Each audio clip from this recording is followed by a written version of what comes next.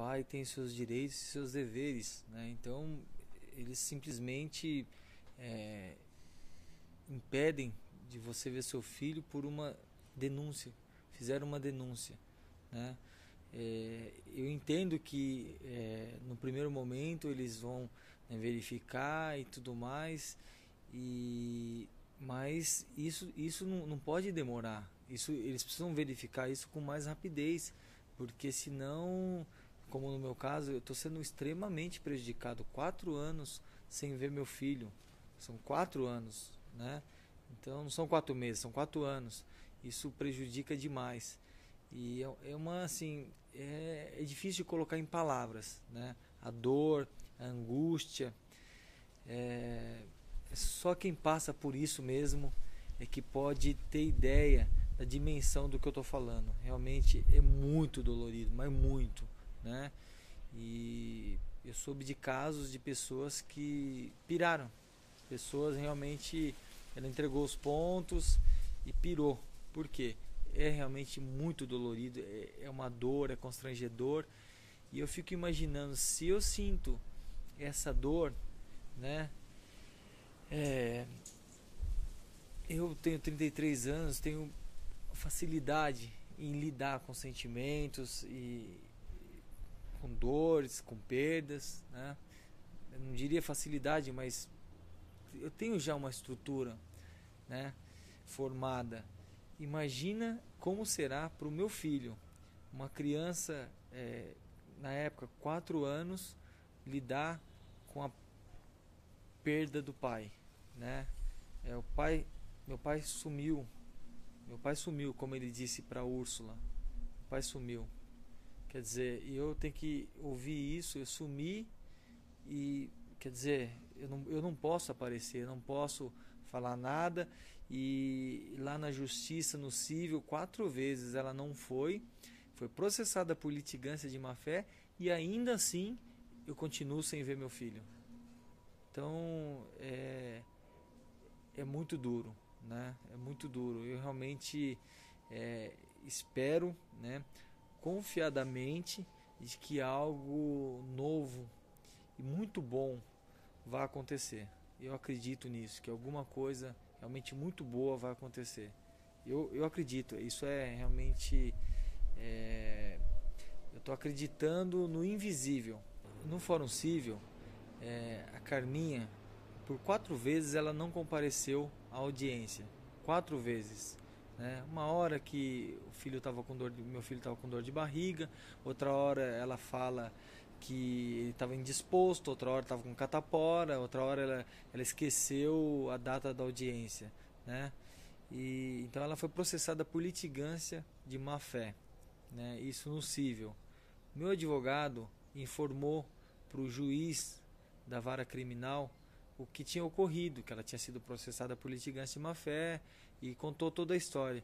E o juiz disse: "Olha, lá é lá, aqui é aqui". Quer dizer, ele falou como se estivesse falando de casos distintos. Né? Eu entendo que as esferas são diferentes, né?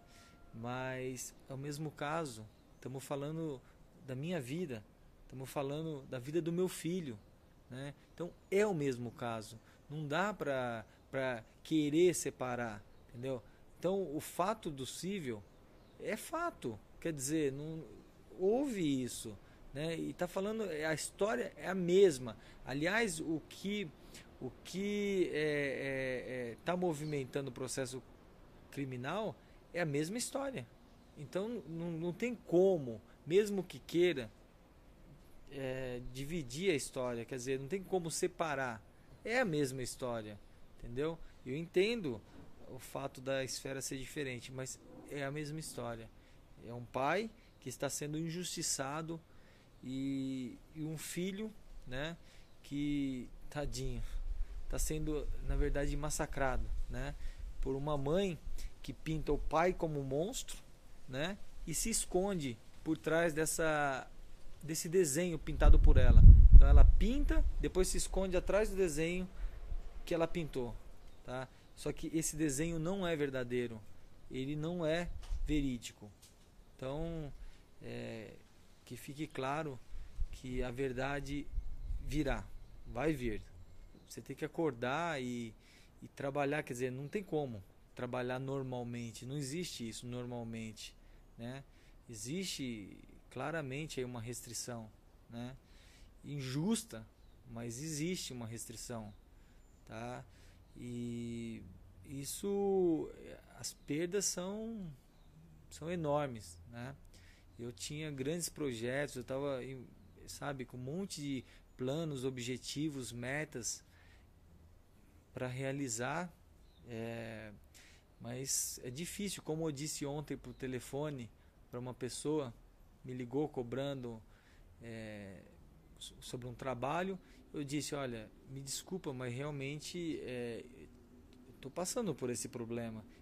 E ele falou, ah, mas business, é, negócio, negócio. E, e aí eu falei, olha, a vida é um todo. Né? Não tenho como separar minha vida profissional da minha emocional, da minha vida, sabe? É, não existe isso. A vida é um todo. Então, realmente, é, os danos são enormes. Eu acredito até que em alguma dimensão, em algum momento, só, só Deus mesmo para reparar, porque é, a dor é muito grande. A dor é muito grande.